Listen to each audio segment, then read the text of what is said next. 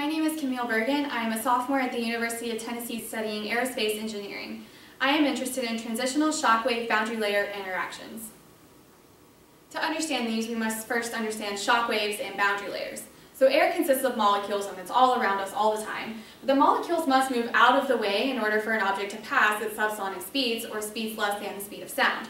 However, when the speed of an object is greater than or equal to the speed of sound, the air molecules don't have any warning and therefore can't move out of the way. This results in a wave called a shock wave that propagates faster than the speed of sound, and shock waves have discontinuous and abruptly changing properties. These are examples of shock waves as an airplane moves through the air or in a wind tunnel. Boundary layers are thin layers of viscous fluid that separate a solid surface from a moving stream of fluid. Um, these are easily seen in wind tunnel experiments. So they occur in laminar and turbulent flow. As you can see here, laminar flow consists of streamlines that are constant and parallel to each other. Turbulent flow is very unsteady, has a bunch of vortices that spiral around each other, and is uh, really hard to characterize. So what are transitional shock wave boundary layer interaction? They are steady flow phenomena experienced during supersonic flight between a shock wave and a boundary layer transitioning from laminar to turbulent. Um, it occurs here, and this is the area that we'll be studying. This is part of my research that I will also discuss later. So this is great, but why are they dangerous and how are they dangerous? So first of all, they alter the boundary layer state. So as you can see here, as you move from left to right across the flat plate, and as you approach the cylinder, this boundary layer right here actually gets larger here and occurs in a separation region here. So the flow actually separates right here in this region. So at this flow separation region, you have high heat transfer rates and you have abrupt pressure increases. Um, these, this results in unwanted and very dangerous thermal and acoustic loads, structural fatigue, and ultimately failure of the aircraft or spacecraft. Um, transitional shockwave boundary layer interactions can also cause engine unstart. So what is engine unstart? Here you have a typical engine, an inlet, a compressor, a burner, a turbine, and a nozzle, but for the sake of unstart, we're going to look at the inlet and the compressor.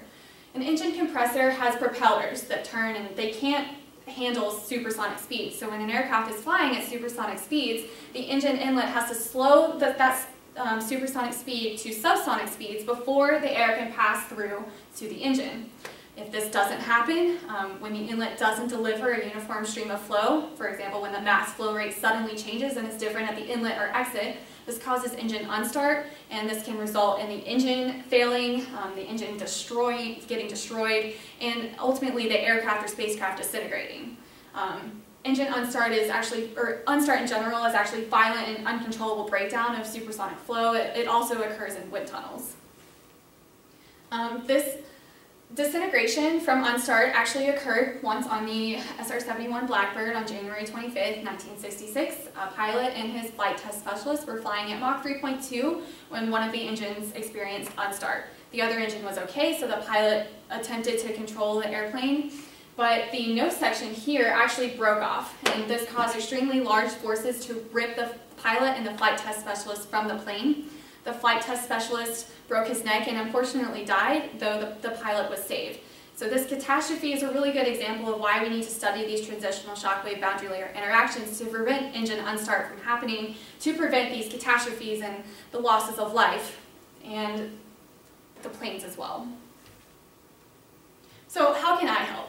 Last summer, I was an intern at the University of Tennessee Space Institute, and I'm continuing my undergraduate research there throughout the year.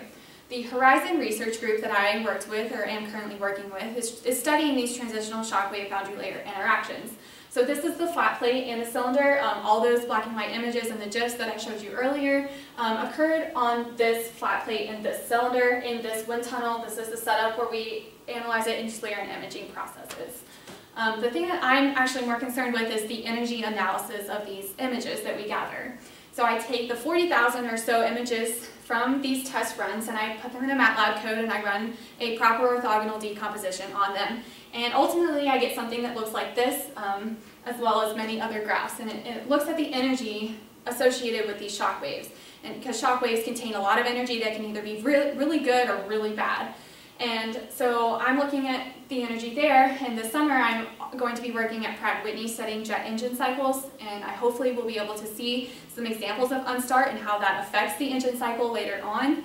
And Ultimately, through this energy analysis and the jet engine cycle stuff that I'll be working on this summer, I hope to be able to contribute to the progression of um, shockwave boundary layer interactions and better engineering of them so that we don't lose planes and people and spacecraft and so that we can better engineer things to prevent these catastrophes. Thank you for your time in reviewing my application.